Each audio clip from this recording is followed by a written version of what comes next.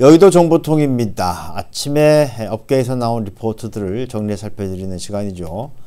아, 이제 연초가 되니까 아, 많은 리포트들이 쏟아져 나옵니다. 아, 뭐 글로벌 그 시장에 대한 이야기들, 또 우리 시황에 대한 이야기들, 또 업황에 대한 이야기들 나오고 있는데요. 자, 일단 아, 뭐 패자부활전에 나선 한국 원화 이런 제하에 NH투자증권의 리포트가 나왔는데요. 이건 이제 다른 게 아니고 작년 하반기에 보면은 통화 가치가 약세를 보이면서 상대적으로 주가가 못 올라갔던 곳이 바로 우리하고 어, 대만인데 아, 이쪽이 이제 최근에 에, 치고 올라가고 있단 말이에요. 어, 그래서 일단 어, 원그이 어딥니까? 이 대만하고 우리나라 시장으로 외국인 투자가들이 아, 매, 매수하고 들어오는 그런 상황들을 좀 지켜보자 이렇게 이야기를 하고 있고요.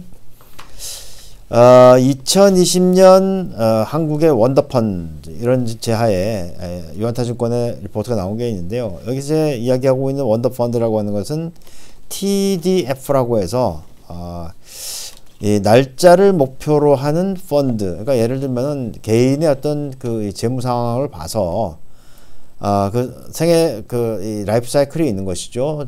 거기에 맞춰 가지고 이제 펀드를 구성해 주는 그런 건데 아마 새로운 펀드를 이렇게 뭐 고안하면서 하나 내놓은 것 같아요. 예. 그리고 다시 NHG 투자증권에서는 은행 산업이 비용 절감이 필수적 선택이 됐다. 최근에 이제 금리 스프레드도 잘 벌어지지 않고 있고 어, 그리고 어, 또 한 가지 이제 그 1216 부동산 대책으로 대출 규제도 나오게 되고 이러다 보니까 이제 수익을 노릴 수 있는 부분들은 많이 줄어들었고 어, 그러다 보니까 이제는 코스 다운이 필요한 게 아니냐 아, 이런 얘기들을 하는 것이죠.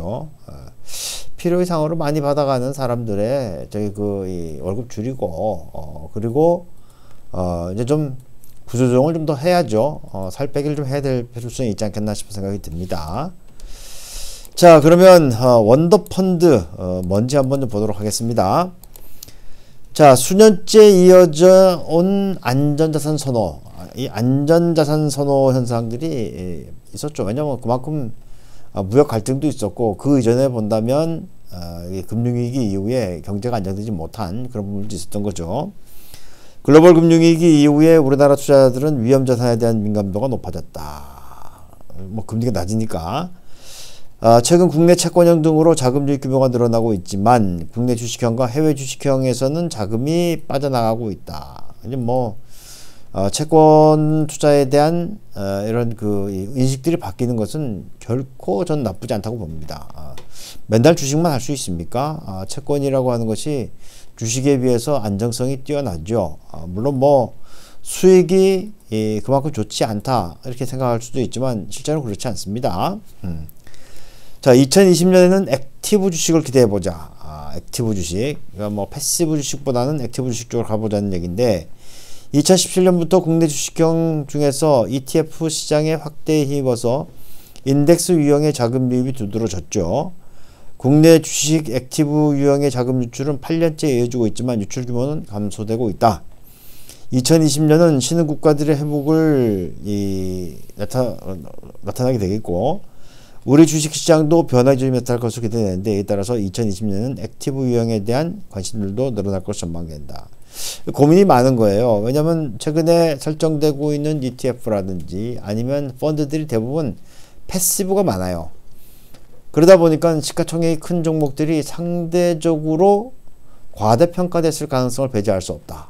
아, 그리고 상대적으로 이제 시가총액이 작은 종목들이 소외받았을 가능성을 배제할 수 없다. 이게 이제 빅쇼트에 나왔던 마이클 버리, 사이언 에셋 매니지먼트의 마이클 버리가 주장하고 있는 내용이에요. 주장하고 있는 내용. 예, 한번 뭐 귀를 좀 기울여 볼 필요가 있겠죠.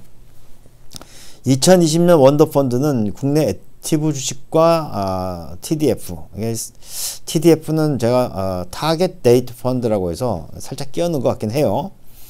글로벌 주요 투자은행들은 2020년 아, 우리나라 주식시장을 긍정적으로 전망하고 있고 글로벌 펀드 시장에서 신흥국 내 에, 우리나라 아, 시장의 비중이 작년 7월 말에 7.7%에서 11월에 8.4%로 크게 높아지고 있다. 향후 기금형 퇴직연금과 default option 등 에, 퇴직연금 관련된 새로운 제도들이 도입되면은 에, TDF의 영향력이 커지게 될 것 같다. 에, 제일 뒤에 있는 것은 사적으로 어, 좀 끼어는 것 같긴 한데요. 어찌됐든 아, passive 형들이 passive 형들이 그 사이 주종을 이루었다면 이제 그게 계속해서 이렇게 그 가, 가기는 어려울 것 같고 좀 방향을 틀게 된다면 active 쪽으로도 움직이지 않겠나. 하지만 active라고 하는 것은 말, 그 글자 그대로 위험이 좀 커지는 것이죠. 위험 관리 잘 하면서 아, 종목들도 좀 잘 살펴가시면서 접근해야 될 필요가 있겠다 생각이 듭니다.